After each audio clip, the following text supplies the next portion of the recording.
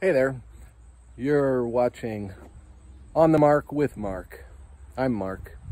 Today I want to show you what I did in my shed out behind my hobby garage.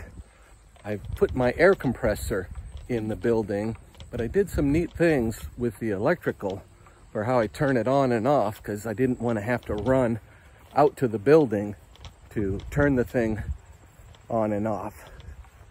So this might be kind of fun. Here's the building.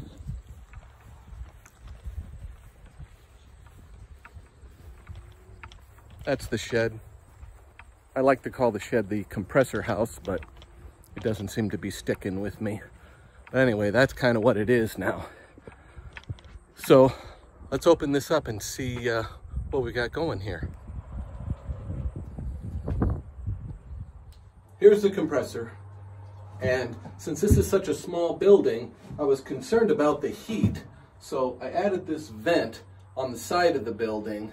And then there's also a fan on the ceiling there, an exhaust fan. The fan allows for air to be moving through here to keep the air compressor cool on the hot summer days. Now, what I've done here is I've added this electric valve on the side of the compressor. And what this does is it's got a ball valve in it and when the compressor's off, there's a capacitor in here that keeps enough electricity in it to actuate the motor that closes this valve. So whenever I pump up air, the end of the day, I shut this thing off, it seals off right here.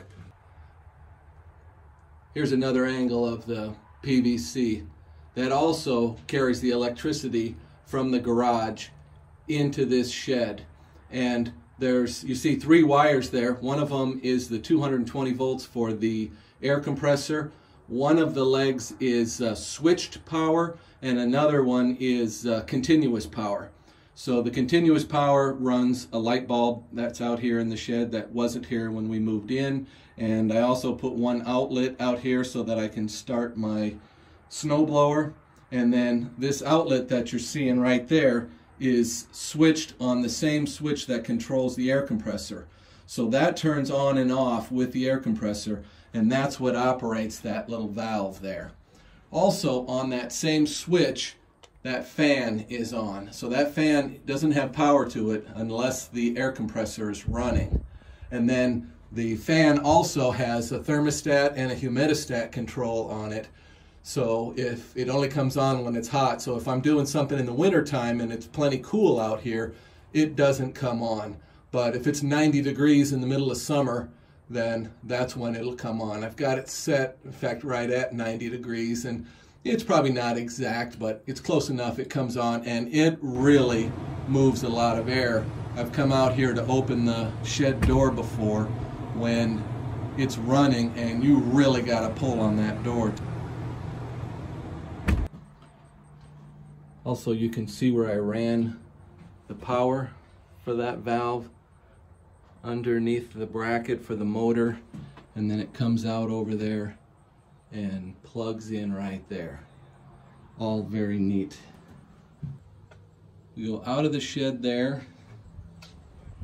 Here's the three inch PVC coming out of the shed.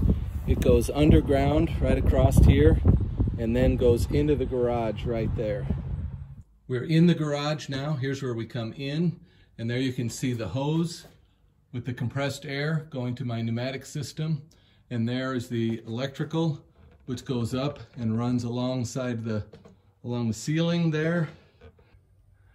I go to this panel and here's the control for the air compressor. I added a 110 volt neon light on top of it so that I could tell if I left the compressor on because when the compressor shuts off and the power's on, you don't know it's still running. So now it's interesting when I turn this on,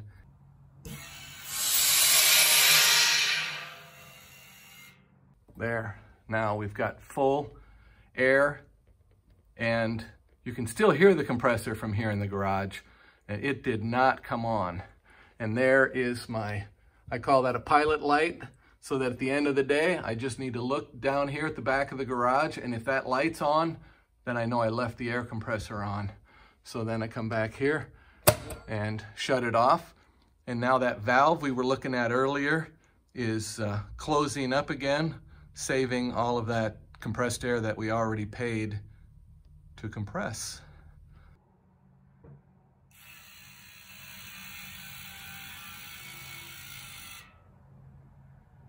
Let me know what you think about this. I think that valve is, is pretty cool.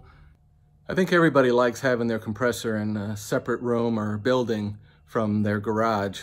If you've ever been standing next to an air compressor unsuspectingly and then the thing turns on by itself, it can really startle you and, and I don't think that's any fun. Plus, just listening to one is uh, pretty tiring. Um, I've got a sandblasting cabinet out here and it would run continuously and that's really obnoxious.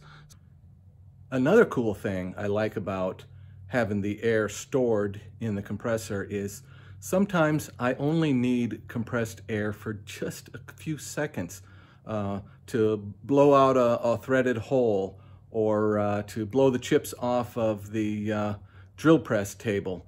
And if I had to wait for the air compressor to completely charge, I probably wouldn't even bother. But I know all I have to do is push that button and boom, I have compressed air. I blow off whatever I need to do and then I turn it off again. And sometimes the compressor doesn't even come on. I just use compressed air that was in there. So other times I probably wouldn't even bother. So very cool. So uh, let me know what you think about that valve. I think it's pretty cool, and I haven't seen anybody else using such a thing. It wasn't expensive. I was able to buy it off of Amazon. I'll uh, I'll I'll get the uh, the model number or part number, whatever it is, off of that thing in case anyone else is interested in adding that to their system. You can easily uh, wire it into uh, whatever kind of compressor you have so that when your compressor's on, just put it in with the same switch and uh, it'll it'll save your compressed air and, and actually you listen to less compressor because you don't have to pump up from zero every time. Pretty neat addition. I wanted to share that with you. Um, uh, leave your comments, good or bad, whatever you think uh, in the uh, comments and uh, I'm curious to hear what you have to say about this. Thanks for watching. I'm just doing this for fun and I want to share. I just want to give. That's it. Just give. No. No. Maybe. All right. On the mark with Mark. Thanks.